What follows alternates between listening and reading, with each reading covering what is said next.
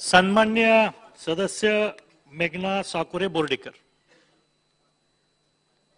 अध्यक्ष महोदय तीन दिवसानंतर आज माझा या महत्त्वाच्या अशा प्रस्तावावरती बोलण्याची संधी आता मला लाभलेली आहे. अध्यक्ष महोदय तीन दिवसांपासून संपूर्ण सभागृह संपूर्ण महाराष्ट्र ह्या विषयावरची चर्चा ऐकत आहे. हा प्रस्ताव आपल्या सरकारने आणलेला आहे. अध्यक्ष महोदय मागच्या तीन महिन्यांपासून महाराष्ट्रामध्ये मराठा आरक्षणाचा मुद्दा आंदोलन मोर्चे गावागावामध्ये लहान मुलं महिला वयोवृद्ध हे साखळी उपोषणाला बसलेले आहेत साखळी उपोषण करत आहेत. राज्यात ओबीसी जनमोर्चा धनगर विमुक्त जाती भटक्या जमाती बंजारा आदिवासी बांधव अंध महादेव कोळी मुस्लिम विशेष मागास प्र- प्रवर्ग इत्यादी समाजही आरक्षणाची मागणी करत आहेत.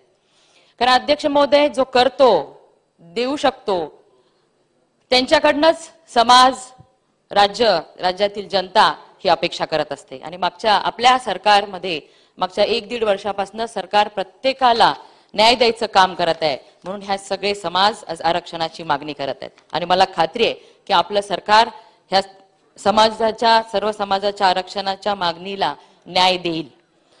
अध्यक्ष महोदय देवेंद्र फडणवीस साहेब जेव्हा मुख्यमंत्री होते तेव्हा मराठा समाजाच्या आरक्षणाच्या मागणीचे पन्नासच्या वर मोर्चे निघाले. लाखोंच्या संख्येने मराठा समाज हा रस्त्यावर आला पण ते मोर्चे शांततामय झाले शिस्तीत झाले आणि एक इतिहास रचला गेला. संपूर्ण जगाने कौतुक केलं ह्या मोर्चांची दखल घेतली. परंतु आता माझ्या मराठा समाजाच्या आरक्षणाच्या आंदोलनाला गालबोट लावण्याचं पाप काही समाजकंटकांकडून होत आहे जाळपोळ दंगडी घडवून आणून स्वतःची राजकीय पोळी भाजून घेण्याचं तर काम ही मंडळी करत नाहीयेत का असा प्रश्न महाराष्ट्रातील सर्वसामान्यांना पडलाय अध्यक्ष महोदय. अध्यक्ष महोदय या मराठा आंदोलनाची मराठा आरक्षणाची मागणी दाहकता तीव्रता ही माझ्या मराठवाड्यात सर्वात जास्त आहे अध्यक्ष महोदय.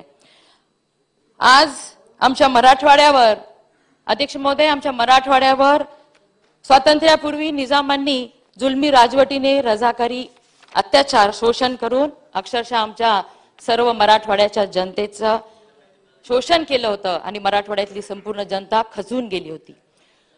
देश स्वातंत्र्य होऊन स्वातंत्र्याचा सूर्य उगवला होता पण माझ्या मराठवाड्यावर अजूनही अंधकार होता. निजामाने आपलं संस्थान स्वतंत्र भारतामध्ये विलीन करण्यात विरोध केला होता.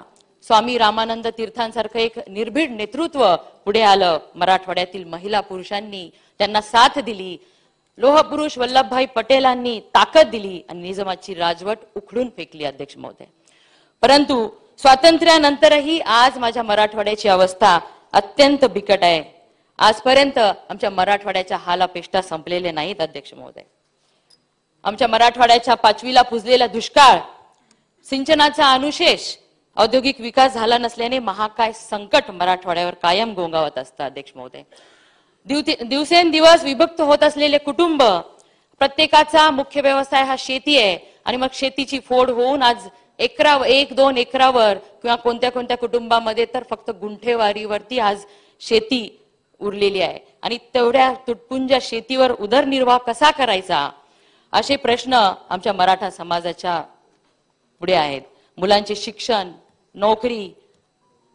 त्याचबरोबर अध्यक्ष महोदय स्वाभिमानाने जगणारा माझा मराठा समाज आहे. पण आमचे नेते आशिषजींनी ह्या ह्यावर बोलताना सांगितलं. पूर्ण आकडेवारी त्यांनी सांगितली. ती काही मी आता परत करत नाही. पण ती आकडेवारी ऐकल्यानंतर खरंच मराठा समाजाची अवस्था आज कशी आहे?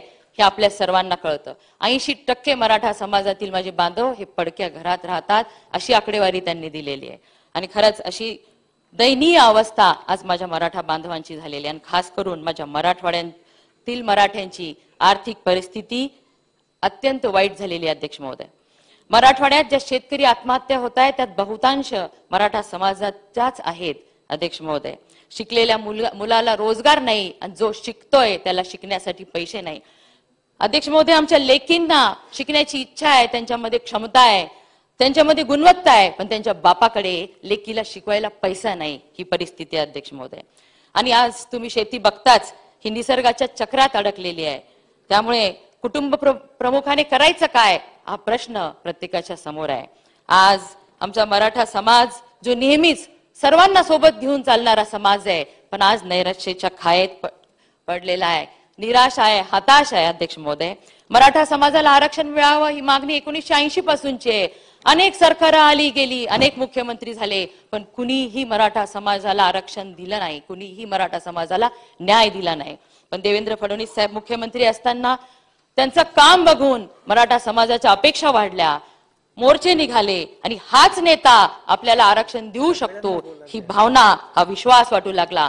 आणि देवेंद्र फडणवीस साहेबांनी तो विश्वास खरा करून दाखवत समाजाला आरक्षण देत नवी उभारी देण्याचा प्रयत्न केला.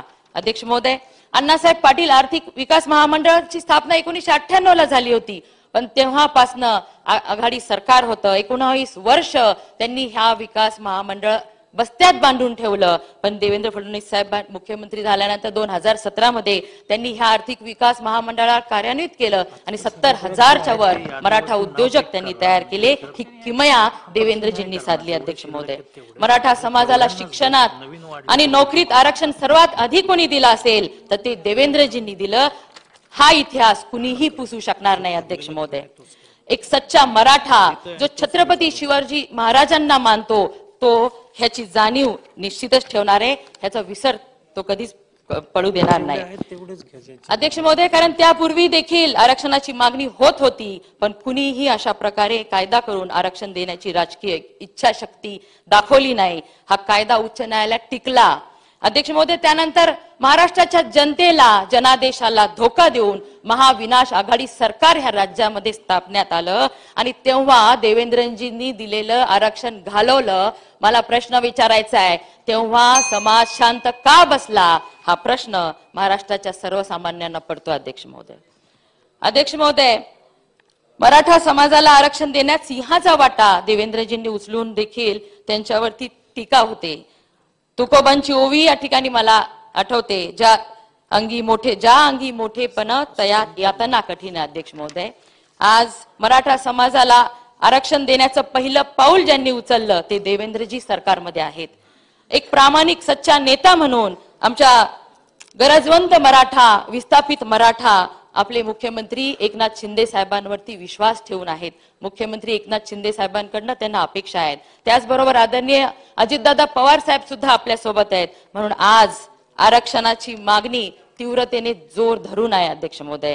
गावगाड्याचं नेतृत्व करणारा माझा मराठा समाज कधीच कुणावर अन्याय करत नाही. आणि आजही कुणाच्या आरक्षणावर गदा आणून आम्हाला आरक्षण पाहिजे ही भूमिका माझ्या मराठा समाजाची नाही. राज्यात सर्वात जास्त माझ्या मराठवाड्यातील मुलाबाळांना ह्या आरक्षणाची नितांत गरज आहे. म्हणून मुख्यमंत्री एकनाथ शिंदे साहेबांनी छत्रपती शिवाजी महाराजांची शपथ घेतलेली आहे आणि त्यांना मी कळकळीची विनंती करते हात जोडून विनंती करते की लवकरात लवकर मराठा आरक्षणाचा तिढा सुटवा सोडावा आणि इतर कोणत्याही समाजाच्या आरक्षणावर गदा येणार नाही. अशा पद्धतीने मराठ्यांना आरक्षण द्यावं एवढंच बोलते आणि थांबते. धन्यवाद.